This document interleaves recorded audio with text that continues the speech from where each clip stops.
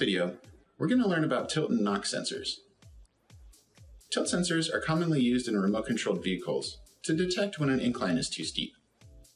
Knock sensors can be used to detect closing doors or collisions in remote-controlled vehicles. Tilt sensors output a high or low signal when the sensor is oriented at a certain angle. They can only detect if the sensor is tilted or not.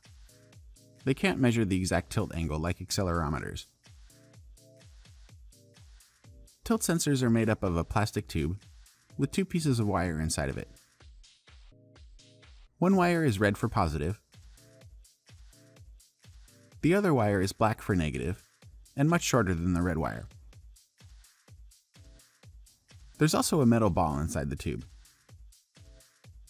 When the tube is tilted forward, the ball rolls forward and only contacts the red wire.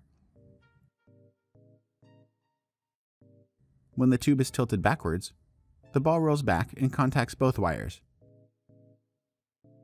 This allows current to flow between the two wires. We can detect this high or low signal with the Arduino to see if the sensor is tilted or not.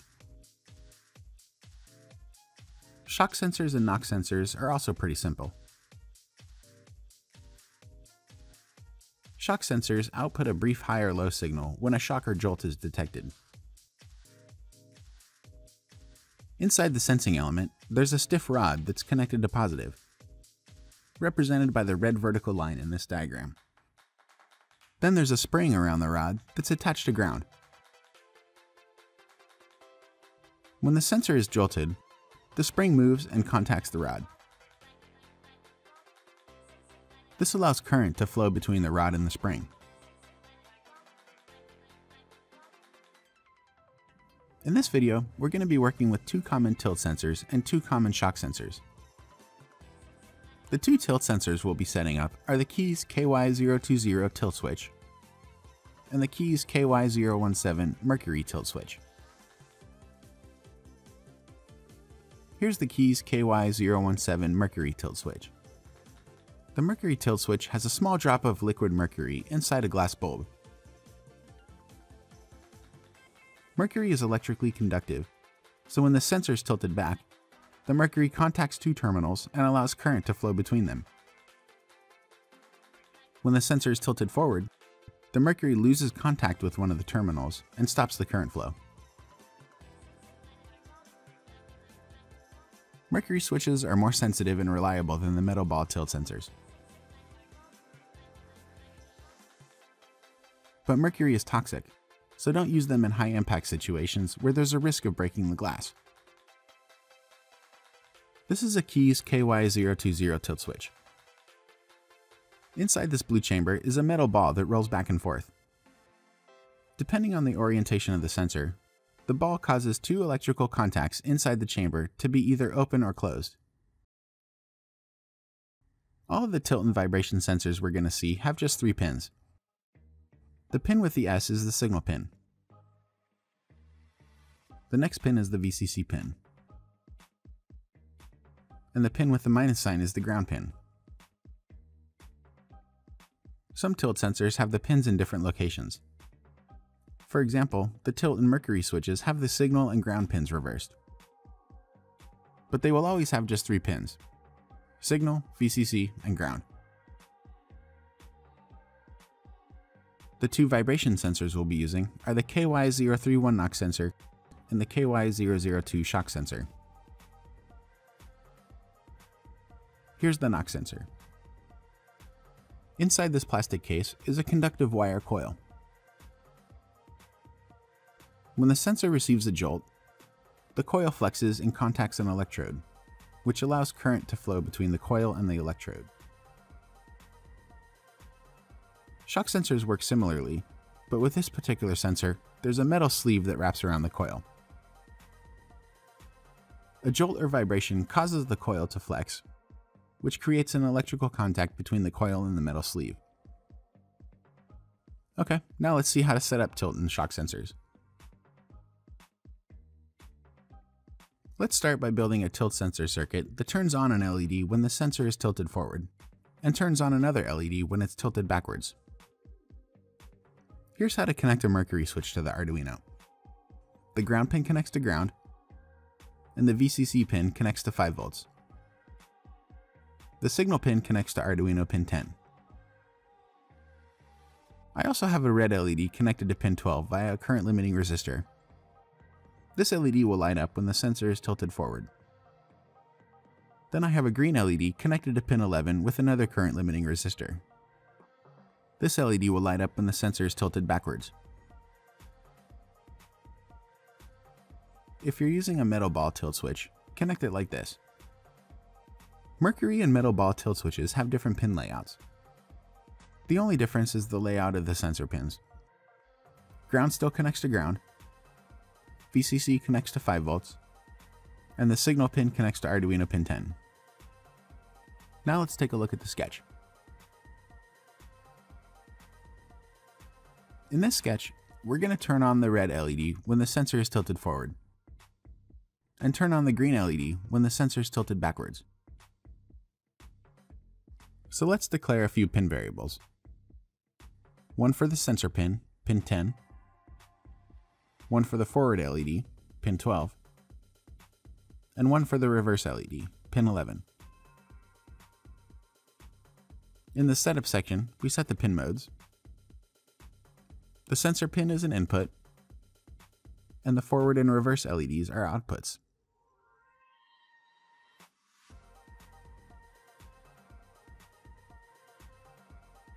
In the loop section, we take a digital read from the sensor pin and store it in a local variable called read.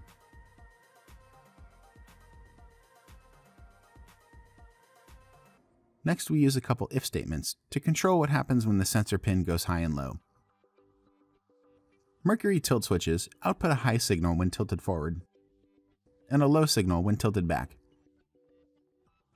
So the first if statement says, if read equals high, digital write the forward LED high, and digital write the reverse LED low.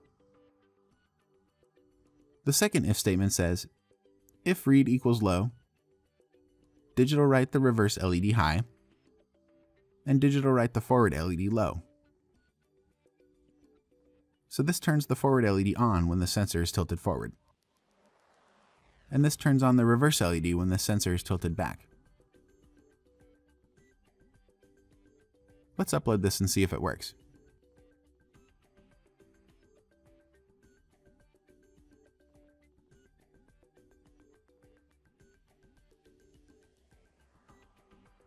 So tilting the sensor forward lights up the forward LED.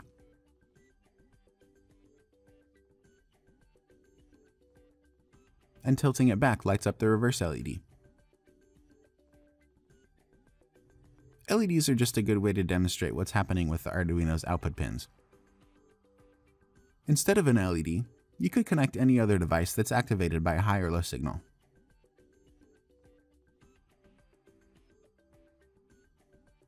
If you're using the metal ball type of tilt switch, the sketch is similar.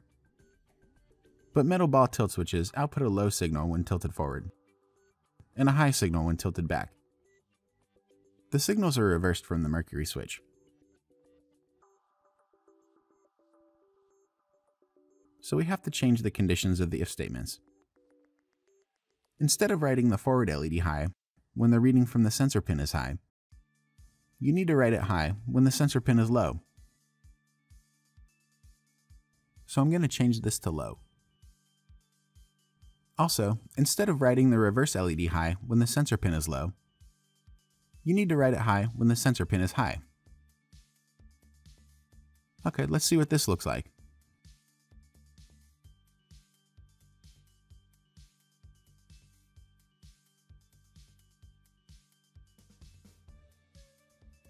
Tilting the sensor forward lights up the forward LED, and tilting it backwards lights up the reverse LED. You can see that this sensor is less responsive than the mercury switch. It needs more angle to get the ball to roll down. Okay, now let's check out how to set up shock sensors and knock sensors. I'm going to demonstrate with a circuit that lights up an LED when the sensor detects a knock. These sensors both have the same pin connections. They also both output a high signal at rest and a low signal when they experience a shock.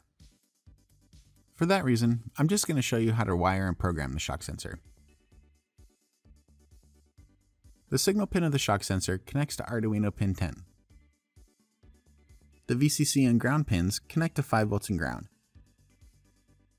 Then I have an LED connected to Arduino pin 12 via a current limiting resistor.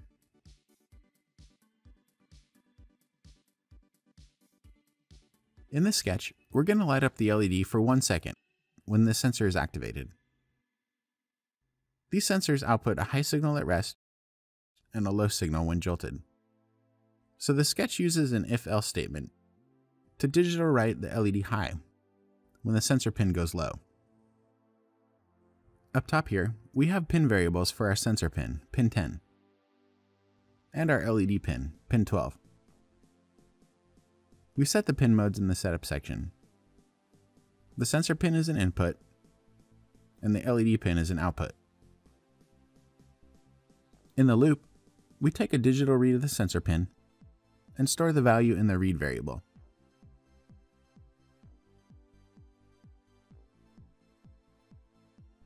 Then we have an if-else statement. The condition says if read equals low. Then digital write the LED pin high and delay for 1000 milliseconds.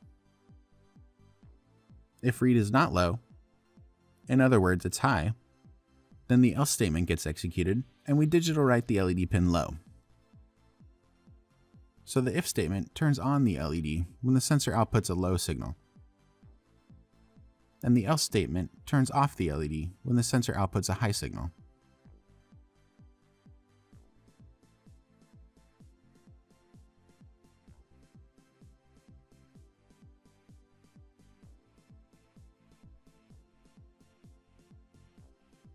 So if I tap the shock sensor, the LED switches on for a second. It's actually pretty sensitive. Here's the knock sensor running the same sketch. It takes quite a bit more force to activate this one. I have to knock it pretty hard. The way you position these sensors will have an impact on their sensitivity. Be sure to try different orientations to get the response you need. In the next video, we're going to take a look at ultrasonic rangefinders and how you can use them to measure the distance to an object.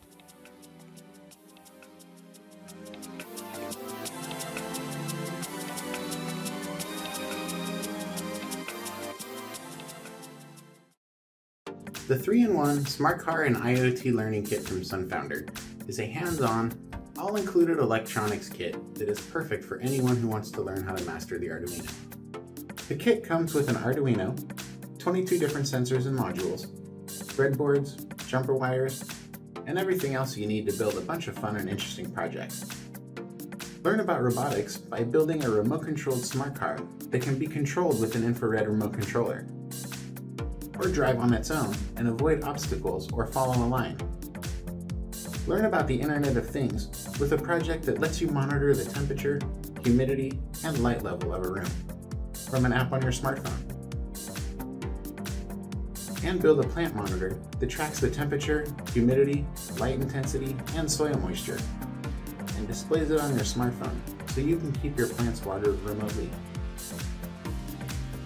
It's a super cool kit, and I had lots of fun building all the projects in it.